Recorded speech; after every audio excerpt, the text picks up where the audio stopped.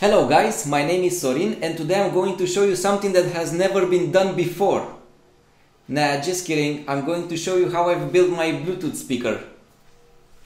The internet is full of this type of videos, but I want to share with you my version too. So in this tutorial I will explain to you in great detail how I've built my Bluetooth speaker.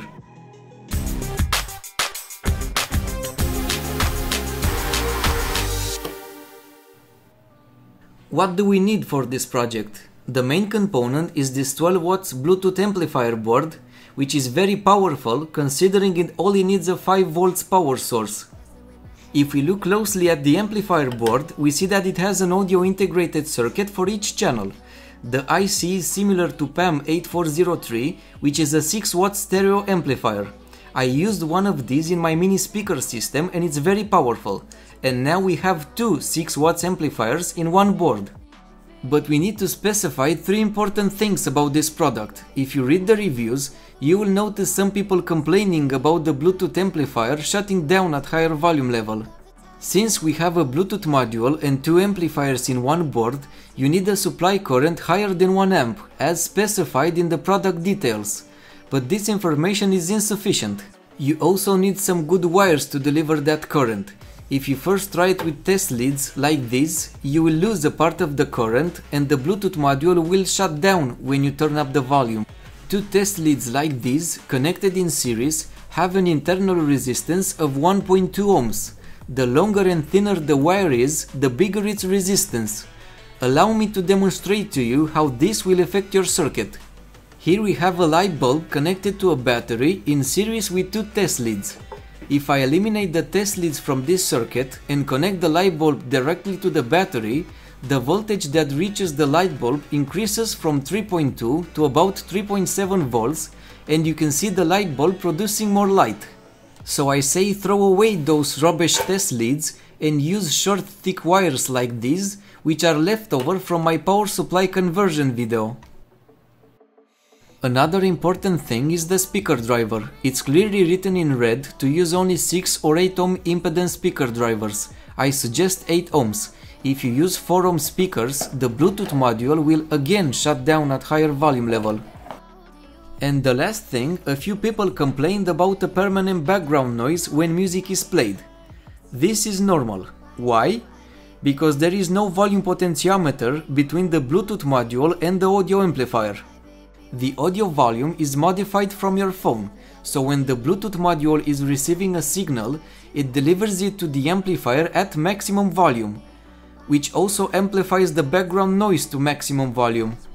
This Bluetooth amplifier has a charging interface. You can connect a 3.7 volts battery directly to it and use a USB charger to recharge the battery. But I will not use this feature for two reasons. First, the charging interface doesn't have a battery discharge protection, so you need a lithium battery with a protection board. And second, I want to use two lithium batteries connected in parallel to double the capacity. I don't know if the charging interface is good enough to charge two batteries. So I'll use instead a TP4056 charging module with battery discharge protection which is very popular. I already have a 2000 mA lithium cell left over from my DIY voltmeter project. I'll use another identical battery from this cheap one cell power bank. This power bank has a battery holder, so you can also use it as a simple 18650 battery charger. These cells are almost brand new, I've used them only once or twice, but to connect them in parallel, I need to recharge them to have the same voltage. To increase the voltage from the battery's nominal 3.7 volts to the 5 volts needed by the Bluetooth amplifier, I'll use this 2 amp step-up converter. And I'll use this 2200 microfarads capacitor to keep the supply voltage stable. We also need a simple switch to turn the speaker on or off, and some LEDs.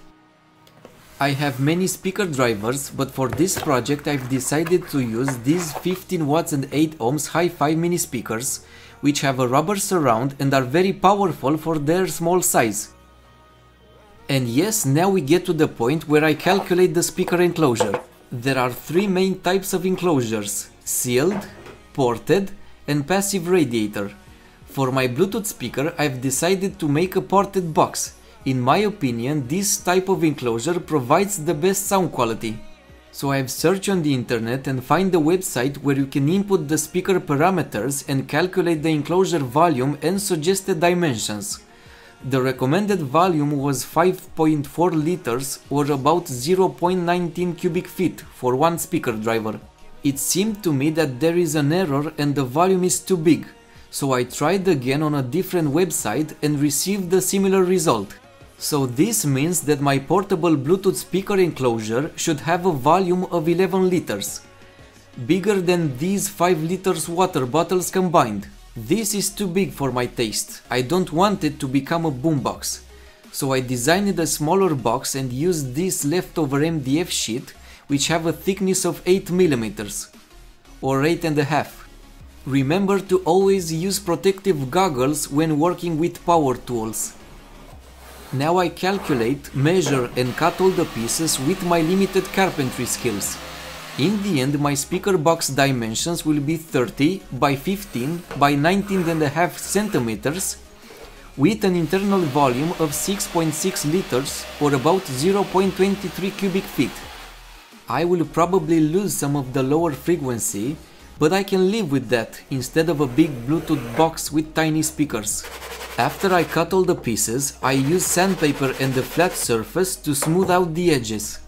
Now the speaker holes. I measure the outer diameter and use a drawing compass to mark the holes. First I'll make a smaller hole, then I'll use an electric jigsaw to carefully cut the holes. This is my grandfather's wood rasp. It looks a bit rusty, but it will do its job. When using a wood rasp, you need to also move it side to side, not just up and down. Do not force the entire wood rasp length in one spot. I'll also use some sandpaper on the hole's edge. For the bass reflex tube, I'll use this PVC pipe. Normally, the bass reflex port should have at least one third of the speaker driver diameter but it will be difficult to use two tubes of 2.5 centimeters each. So I'll make only one tube from this 4 centimeters PVC pipe. I have only a few more holes to make. Now it's time to screw all the panels together. It's easier if you have some woodworking clamps. I don't have any, so I need to improvise.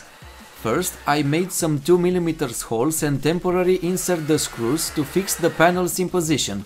Then I removed the screws to make some grooves for the screw heads with a bigger drill bit.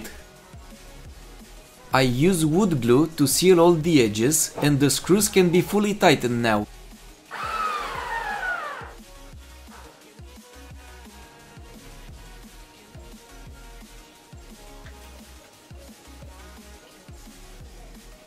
The speaker drivers will be fixed with smaller screws, so I'll use this 1.5mm drill bit. I also drilled the holes at an angle because I don't want the screws to pierce the panel. Now the front panel can be fixed in position with wood glue and screws. For the rough edges, it's recommended to use wood filler, but I forgot to buy some for this project, so I'll use just wood glue instead and sand it down later. To cover the screw holes you can mix wood glue with leftover wood dust. After the glue dries, I use the wood rasp again to round all the edges. I'll use two-part adhesive to fix the bass reflex tube. To paint the speaker box I'll take it outside, but first let's give it a final sanding and use a cloth to clean it. I'll spray a few coats of filler primer and try to fill some of the imperfections. Spray the primer or paint with horizontal linear moves, don't rush the process. After every coat of primer dries, use sandpaper to smooth out the surface. To paint the box I'll use this grey dark spray can and give it 3 coats of paint.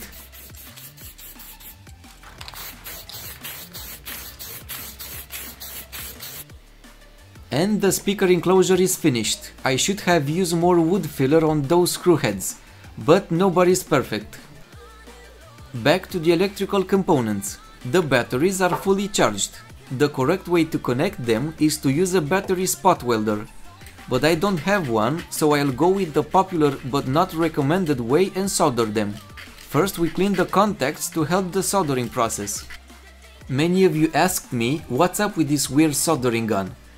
Well, it's a Romanian soldering gun made in Bucharest in the 80s and it's very powerful. This is helpful because I need to solder the wires as fast as possible. If I use this powerful soldering gun just a couple of seconds at a time and give the battery time to cool down, it should be fine. But if you heat up a lithium cell too much, you may permanently damage it and the cell can even catch fire, so be careful if you try this. After preparing the battery contacts, I'll use insulating tape to create this 2 cell battery pack. Now I prepare some wires to connect the cells in parallel. This battery pack will have a capacity of 4000 milliamps, or less if the manufacturer lied about the cell's capacity.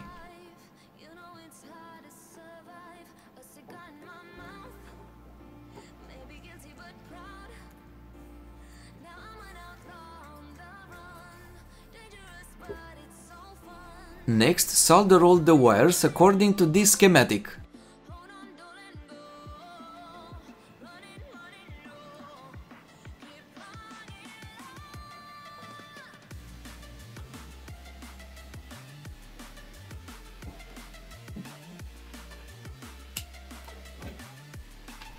Before soldering the Bluetooth module, test the step-up converter and adjust the supply voltage slightly above 5 volts. I will remove the two tiny LEDs from the TP4056 charging module and replace them with one multicolor LED. I'll use the red color for charging, green color for fully charged and remove the blue pin.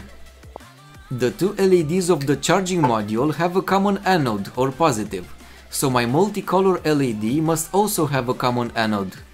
I'll use three flexible test wires to solder the LED and of course shrinking tube to insulate the pins.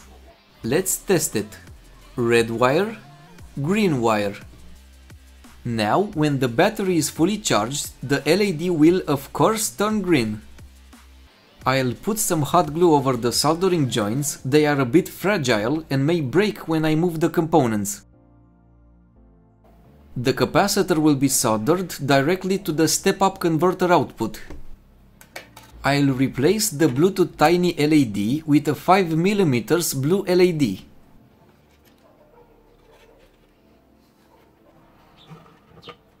For the speaker drivers, I'll use these tiny screws and washers to fix them on the front panel. Then I'll seal them with silicone sealer. Use some latex gloves or a simple plastic bag to spread the silicone around. We only have a few more wires to solder. Be careful when soldering the speaker wires. If you reverse the polarity of one speaker, the sound quality will be very poor. The switch must be soldered from outside the box. For the USB charger, I'll use a micro USB breakout. The next step is to fix all the components to the MDF with hot glue.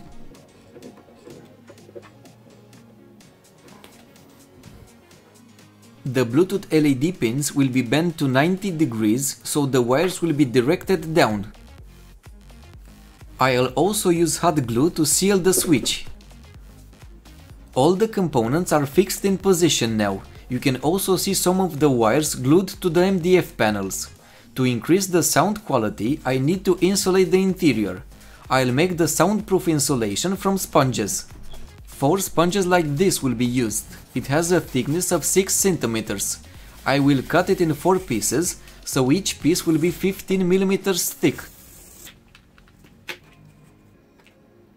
I will cut the sponge in various shapes so I can cover as much as possible of the interior surface. Now you can see the reason I glued the wires to the MDF panels, so I can cover them with the soundproof insulation. I want to cover as many components and wires as possible. I don't want any rattling noises inside my speaker. And I hope this soundproof insulation will compensate for some of the missing enclosure volume. The back panel it's easy to cover. Three rectangular pieces of sponge.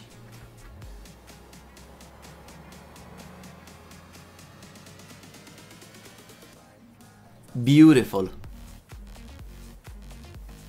The back panel will not be glued because I may need to remove it in the future, for example to replace the lithium batteries, so it will be sealed with double-sided foam tape.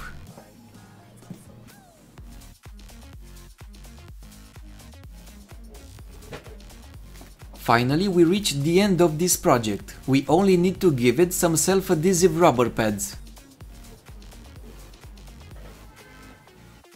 To charge it, you can use any USB charger, even a power bank. And you can even charge it while playing music.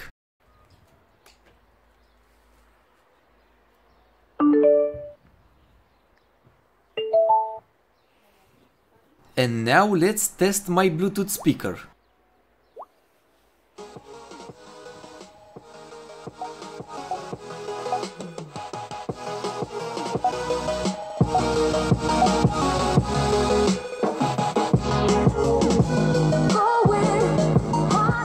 It works and it's very loud. Look at those speaker drivers do their thing. I would like to show you the sound quality of this Bluetooth speaker, but it's difficult through a video on the internet, because some of the quality will be lost through recording, editing, processing the video by YouTube, and finally your audio system. But I will do my best with this studio microphone.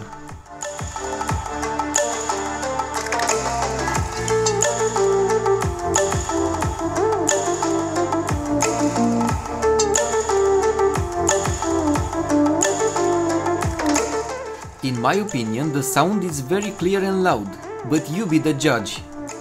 I forgot to test the current consumption, but I used it for a few days and fully charged it can run for 10 to 20 hours depending on the volume level. I know that the speaker has some rough edges, like here for example, but keep in mind I don't have a big workshop with fancy equipment. I just have two hands and some old hand tools. But I really like how it turned out in the end. It's not too small to affect the sound quality, but it's not too big, it can be easily carried. And it's very powerful considering that I can easily charge it with any USB power source. I hope you enjoyed this video. If you did, don't forget to give it a like and if you are new to this channel, consider subscribing.